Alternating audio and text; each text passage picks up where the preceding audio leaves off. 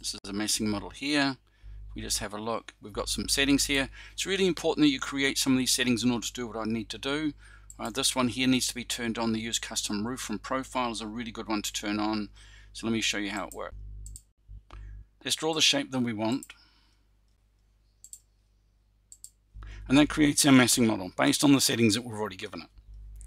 If we right click, we can choose edit profile. There's our profile here. I can turn it in 3D.